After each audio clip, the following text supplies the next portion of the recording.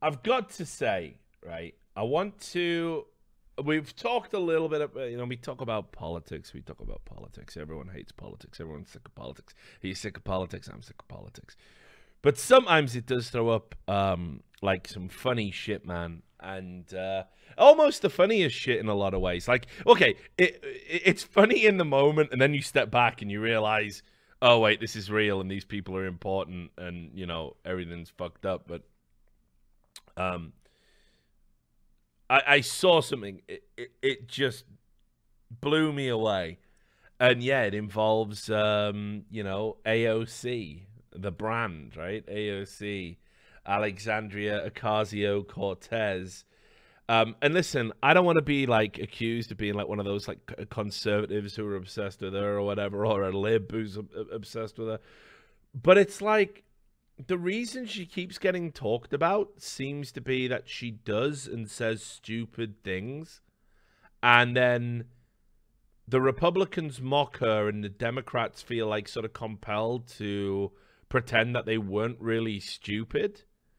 And it's like uh, you know listen as i've said i think the fact that she used to be a bartender and and she won a political campaign um, and has enjoyed a lot of prominence. I, I did think at the start it was all very endearing, but what you've started to see is she has slipped into that mode that politicians get to the towering narcissism, the way they can never be wrong, the way that their parties kind of like just run this like constant offense no matter what they're doing even when what they're proposing is ridiculous, even when what they're saying isn't factual, even when they don't even know the three fucking chambers of politics and all that nonsense, you know, whatever.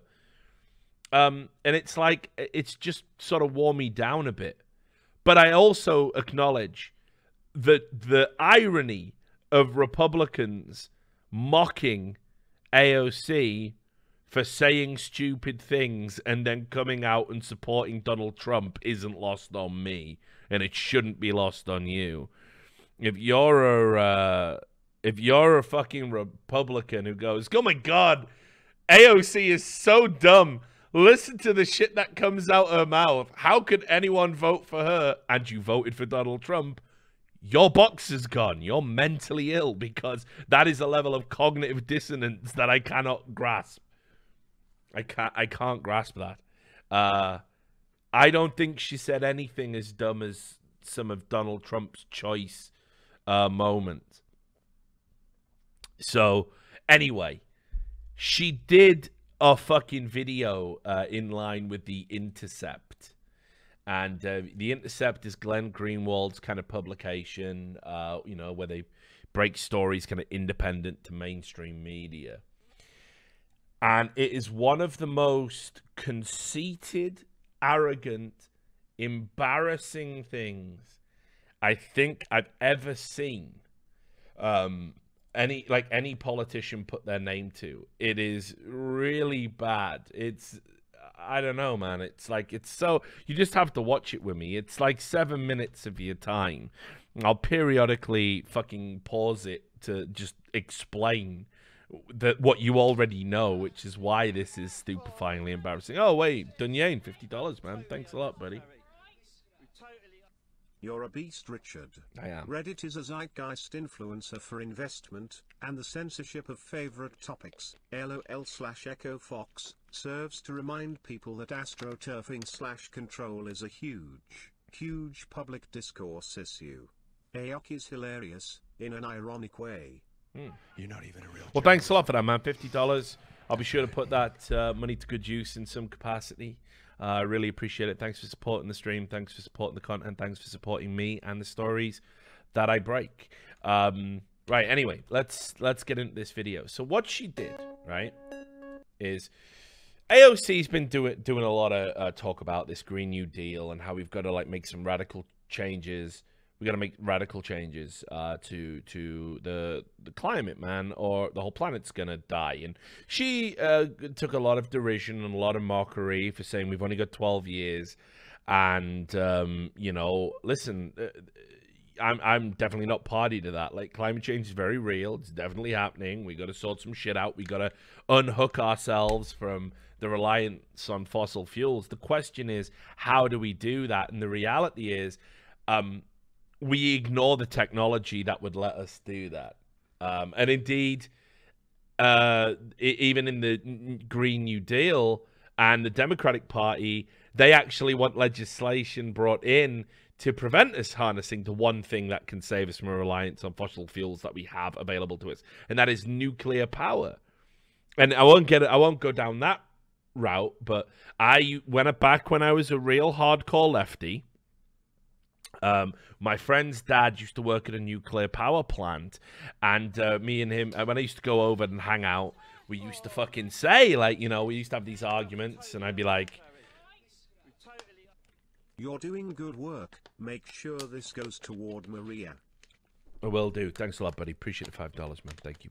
Um, but but and I used to go back and forth and say, oh, you know, it's it's pollute, it's polluting, it's dangerous. Um, you know, it's it's uh, it, it, you know it's it's got all this like stuff wrong with it. And and of course nuclear is associated with nuclear arms and we just need to get rid of it. And this guy was like a real you know he, he wasn't just like a, a janitor there. He was like a fucking physicist a nuclear physicist my mate's dad.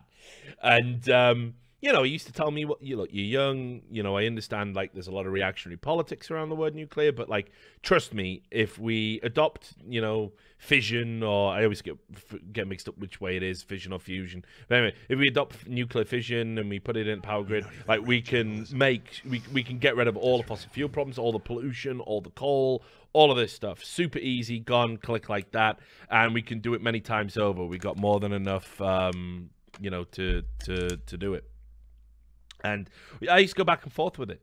And, and, and you know, I, I think about a world that we would live in if Chernobyl hadn't happened. Because obviously, growing up, the Chernobyl disaster was horrendous, you know, and people are still feeling the effects of that today. If that hadn't happened, uh, who knows? Because look, obviously, if you have nuclear reactors, there is the up, you know, there's the chance that something will go wrong. There is a chance that a terrorist might try and crash a plane into it or something. There is a, a chance of a core meltdown, like we saw at Fukushima after the tsunamis. These are horrendous things. But the reality is that nuclear power definitely is the solution to all the problems we're talking about right now. And equally as well, just also as an aside, you know, I don't understand why Republicans wouldn't want to get us. Uh, like not unhooked from uh, oil reliance. Because why the fuck do you want to be reliant on countries like Saudi and Qatar and place and and, and, and your place in Iraq and places like that with their extremist Islamic contingents within their countries, which last time I checked, you Republicans don't like those guys.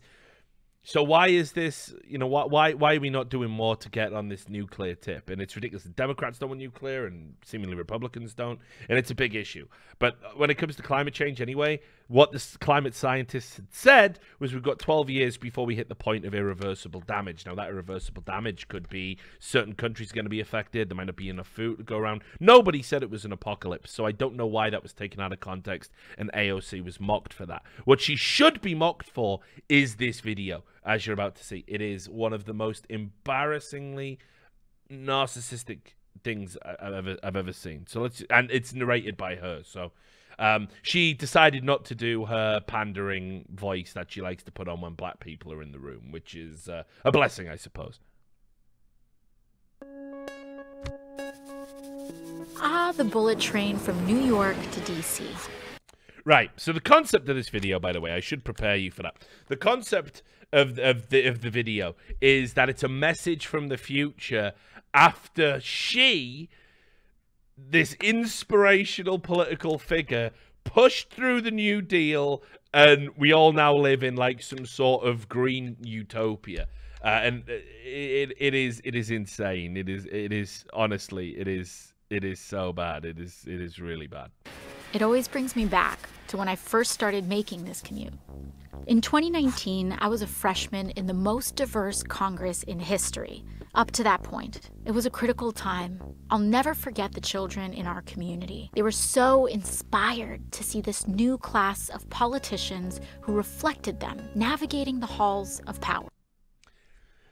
I'm just gonna preface. I'm just gonna preface this message from back in time just to let you know from the future how inspirational I am to kids. Like, I, I just can't. Like, I just have a bit of humility. Like, you know, it was it was okay up until a point, I suppose, to set the scene. But like, all right, cool. It's often said you can't be what you can't see, and for the first time, they saw themselves. I think there was something similar with the Green New Deal. We knew that we needed to save the planet and that we had all the technology to do it. Now, this again, um, having all the technology uh, to do it, we we very clearly don't have all the technology to do it. Um, as I said, I think nuclear would be the way to go. Uh, if we really want to achieve this uh, uh goal, uh, people don't seem to like that idea in, in um, you know, the people in power for whatever reason. Uh, but the idea that renewable energy is going to fix all of our problems is scientifically nonsense. It's been proven to be scientifically nonsense. Obviously, we should have as much renewable energy sources as we can, obviously, but you can't rely on solar and, and wind. Uh, so we don't have all the technology to do it. In fact, if we did have all the technology to do it, we'd probably be doing it. Uh, you know, maybe. And in, in, and in fact, even if we weren't doing it and we were just like, yeah, fuck it, let's just ride or die with this fucking fossil fuel thing, so all these old like, you know, oligarchs keep making money. Eventually, they would just reach a point where that racket would end, and the new racket of renewables would kick in, and everything would be renewable. So it would just it would just take over, and that would become a racket and a load of bullshit for rich people to make money. Um, but no, we don't have all the technology to do it. Um, sorry to break that uh, that news to everybody, but whatever. But people were scared. They said it was too big, too fast, not practical. I mean, just not possible would be would be uh, a much better uh, critique. Um, just it just isn't possible in the sense that yes because it's not possible it's too big too fast and, and not practical practical because of the nature of how solar power works and how uh, wind turbines work and how uh, coastal energy works. But, all right, all right anyway. I think that's because they just couldn't picture it yet Mm. Anyways, I'm getting ahead of myself. Let's start with how we got here. Took a visionary 1977, like AOC, you know? New York. Mm. A senior scientist named James Black made a presentation about how burning fossil fuels could eventually lead to global temperatures rising 4 or 5 degrees Fahrenheit.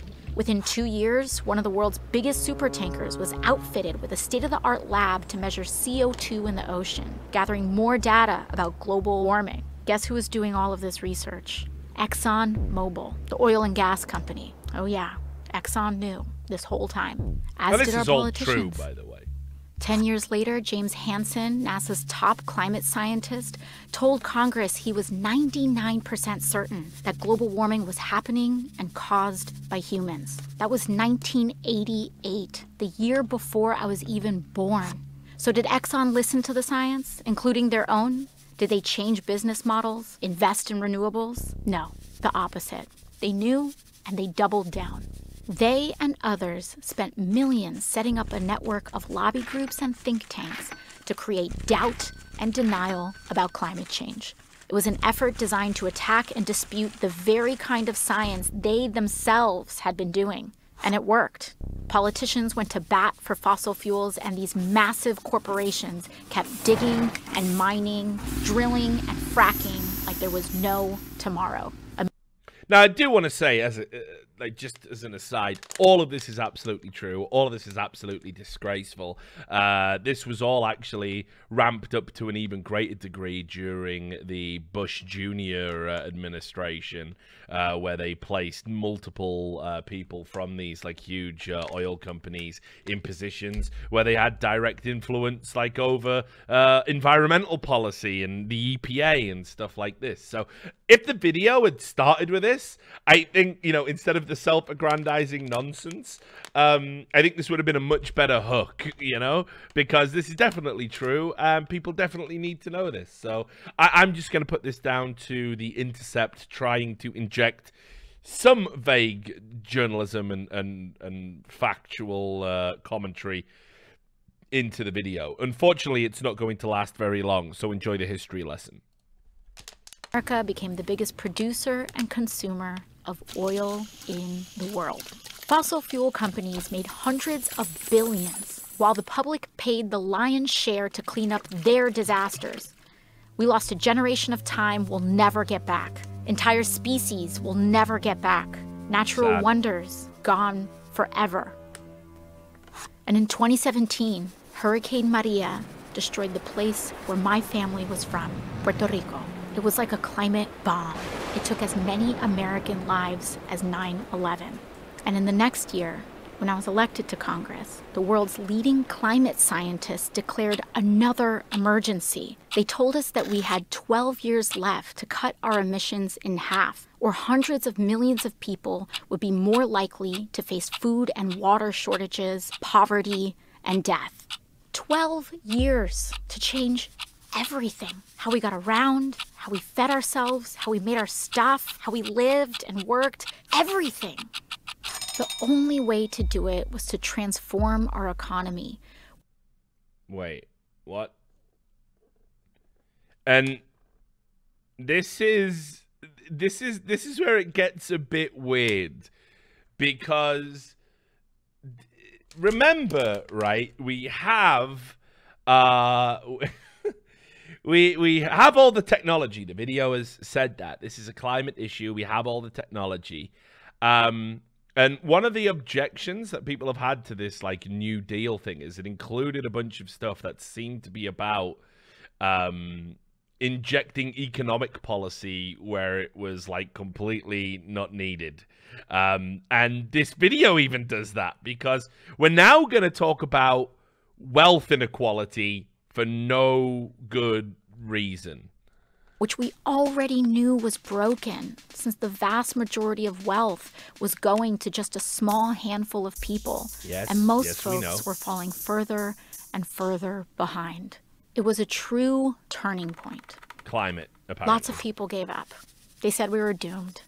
But some of us remembered. Right, and again, it just moves on. It just it, it just glosses past the fact that we oh yeah, did did we mention by the way that uh, there's this group called the one percent and they have ninety percent of the wealth and ain't that crazy and that was holding back the climate probably for some reason probably, and then they just move on, like it just it's like ridiculous. But as a nation, we'd been in peril before. The Great Depression, World War II. We knew from our history how to pull together to overcome impossible odds. And at the very least, we owed it to our children to try. The wave began when Democrats took back the House in 2018. Oh god. Oh, get me out, guys. Guys, we fixed every problem in human history. And you know when it started? It started when the Democrats got back in power. Because despite these problems having continued uh, pretty much unabated for the eight years Obama was in charge, it's only when Democrats are in the White House do we really make any social progress, despite, of course, you know, that um, uh, financial inequality that you brought up. Uh, well, actually, that went up uh, in the eight uh, years uh, that Obama was. It's fine. You know, it, it's not even relevant to the climate issue we're talking about. But it, it just seems strange that the message from the future is telling me Democrats fix everything. We had eight years of Democrats and didn't really fix anything, did we? It was just again a continuation of, of, of the same. All right, all right, but that's fine. Listen, it's going to be different this time. This time, when the Democrats take over, all our problems are over. It's as simple and the as that. Senate and the White House in 2020 and launched the decade of the Green New Deal, Hmm. a flurry of legislation that kicked off our social and ecological transformation to save the planet. Right. It was the kind of swing for the fence ambition we needed. Yeah. Finally, Love we were it. Swing for the entertaining solutions on the scale of the crises we faced Yep. without leaving anyone behind. That included Medicare for all, the most Wait, what? How does how does Medicare for all link to this? How does Medicare for all fix climate change? I, I'll let's wait a moment, chat. Let's pause because maybe maybe you guys know. Now again, I would love it if we if everyone had free healthcare. I, I, I'd love it. Like I I'm totally behind that. I'll vote for anybody who can get us who can fix the broken healthcare system in America, which is a, a, a disgrace that a, a country so affluent and prosperous um, basically overcharges and enslaves its population based on their medical needs, uh, well, for their medical needs and because of their medical needs. Um, but do we do we do we know what the link is here? Because I can't see it. But okay, she'll explain it. I'm sure she'll explain it most popular social program in American history. Mm. We also introduced the federal jobs guarantee, a public okay. option including dignified living wages for work. Okay. Funnily enough, the biggest problem in those early years was a labor shortage. We were building a national smart grid. Wait, but how did what, you haven't explained how Medicare makes the the temperature go down? You haven't explained that. Are you going to explain that? Spoiler, she does not explain that every building in America, putting trains like this one all across the country. We needed more workers. That group of kids from my neighborhood were right in the middle of it all, especially this one girl, Ileana. And notice as well that everybody, everybody who makes uh, a significant contribution to this future is from her neighborhood. It's like there was just something in the water, like an opposite of what was going on in Flint, Michigan. And they they're just all geniuses and super people. And uh, oh yeah, and there was this one girl from my neighborhood. Check out what the the next AOC, no doubt inspired by AOC, uh, does. Uh, it's it's unreal. Oh, hang on, I, I, I fucked that up. Oh, here we go. Let's get back to yeah, Curse. That group of kids from my neighborhood were right in the middle of it all, especially this one girl, Ileana. Her first job out of college was with AmeriCorps Climate, restoring mm. wetlands and bayous in coastal Louisiana. Most of her friends were in her union, including some oil workers in transition. They took apart old pipelines and got to work planting mangroves with the same salary and benefits. So I mean, this this girl from her old neighborhood is like in charge of all of the old, outdated, no doubt Trump supporters digging trenches. But check this out, guys. This is probably the most cringeworthy part of the video because, um, right. I always thought, no, I'm being serious. I always thought like when you make stereotypes about like people and cultures, uh, we didn't do that anymore because it was considered bigoted. This is so ass puckeringly embarrassing. I can't believe anybody signed off on this. I can't believe anybody signed off on this. But anyway, tell us about healing the land. Of course, when it came to healing the land, we had huge gaps in our knowledge. Luckily, Indigenous communities offer generational expertise to help guide the way.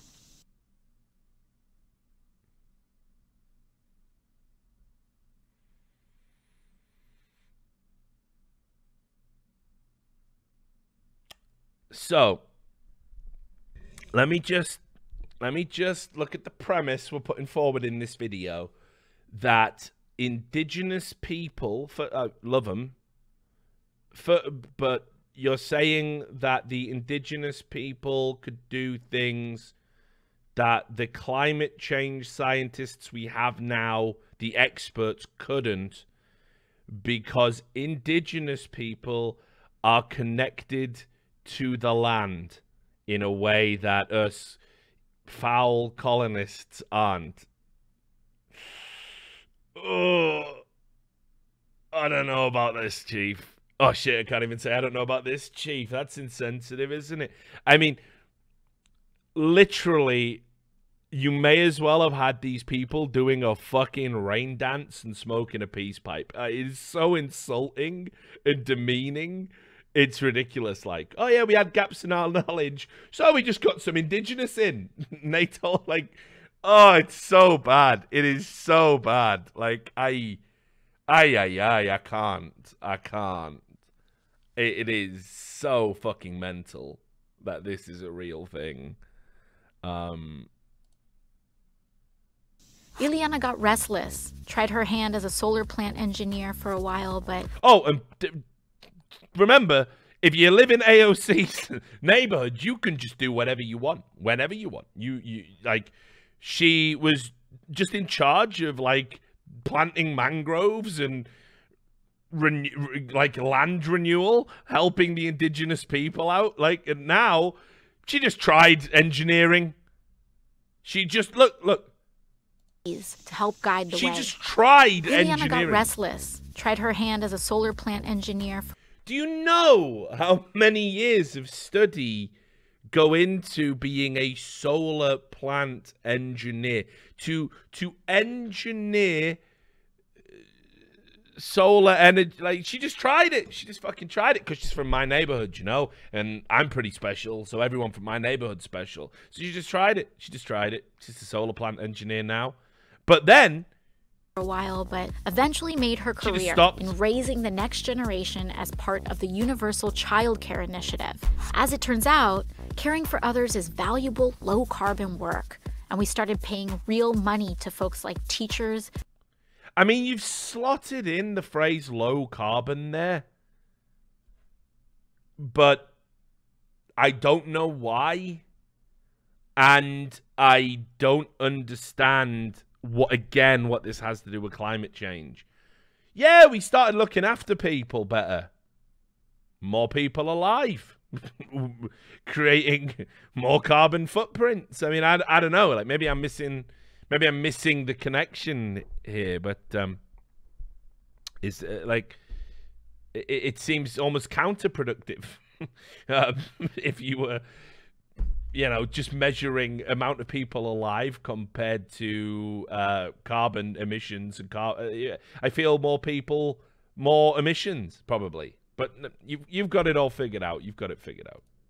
Domestic workers, and home health aides. Those were years of massive change, and not all of it was good. When Hurricane Sheldon hit southern Florida, parts of Miami went underwater for the last time. But as we battled the floods, fires, and droughts, we knew how lucky we were to have started acting when we did. And we didn't just change the infrastructure, we changed how we did things. We became a society that was not only modern and wealthy, but dignified and humane too. By committing to universal rights like healthcare and meaningful work for all, Climate we stopped video. being so scared of the future. Climate we change stopped video. being scared of each other This is a climate and we found video. our shared purpose. Ileana heard the call too, and in 2028, she ran for office. Right, so this chick Ileana from AOC's neighborhood, in case you forgot, has been like some sort of proto ditch digger, indigenous uh, tribe translator, facilitator, uh, solar panel engineer, teacher, and by 2028 has got it all together to run and win in an in, in an election. In the first cycle of publicly funded election campaigns. And now she occupies the seat that I once held. Of course, the highest accolade for any politician is to basically hold the position I, AOC, hold. She wouldn't have done it without me, as I said at the start of the video. She wouldn't have been inspired without me in the video. Now she's got it. She owes it all to me, AOC. Uh, remember, none of this is real. This is like it stopped being a fucking like like those two minutes where it was talking about how corporations are evil and fucking up the planet that was like a pretty good like psa and the rest of it is like just some demented like aoc wet dream about how important she is and how she has inspired a generation of people that don't exist I couldn't be more proud of her, a true child of the Green New Deal. When I think back to my first term in Congress, riding that old school Amtrak in 2019, all of this was still ahead of us. And the first big step was just closing our eyes and imagining it. We can be whatever we have the courage to see.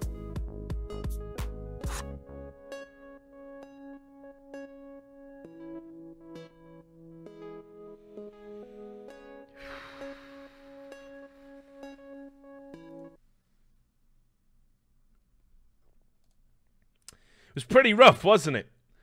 It uh, like I I I couldn't believe it. I really couldn't. I was like, is this real? And I saw people talking about it at the time and saying how powerful it was and stuff like this, and I was like, you know, maybe maybe it is. Like, you know, I don't have anything against her. I don't have anything against AOC.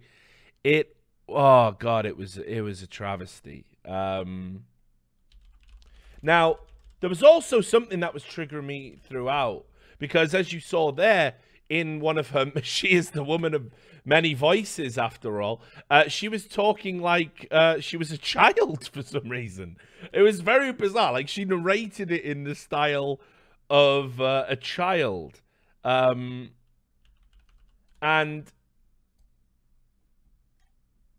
I was trying to think. I want to hang on. Is this it? Let me just check.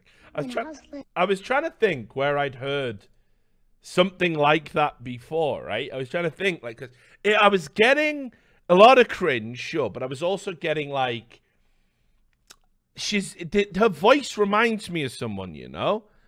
And uh, if you've ever seen um, the movie, well, in in the West, obviously, it's called Shogun Assassin, and it was uh, like a splice of an edit of multiple movies.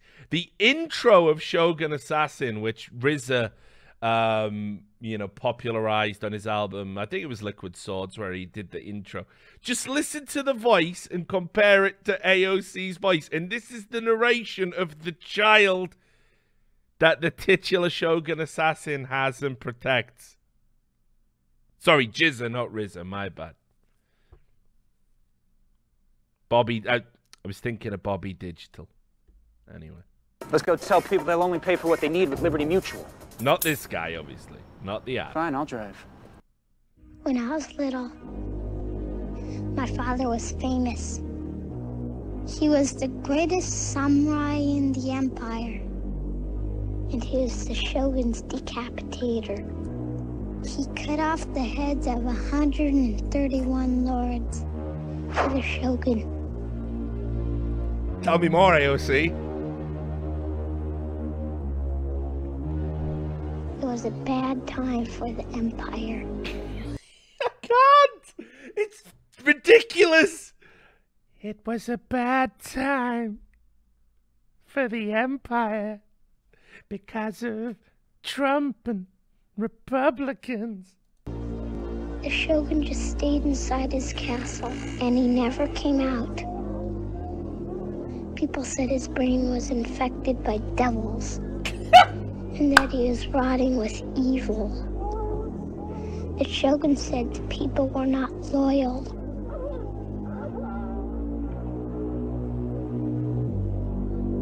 I can't do it anymore. So it immediately that it was like on my brain as I was listening to it, like where have I heard this before? And legitimately, AO, like I honestly think again, I think she's like a psyop, like a high level troll that only really intelligent people are supposed to understand is an elaborate troll slash psyop. Because you know, trolling when it gets to an elite level, it becomes a psyop. That's what it is. It has to be because that is ridiculous. That is ridiculous that she has done a climate change video in the style of Shogun Assassin. There's just no way, like, there's no way that's an accident, guys. I was like, you're supposed to recognize that too. You know? So, uh, anyway. Oh ridiculous times, ridiculous times.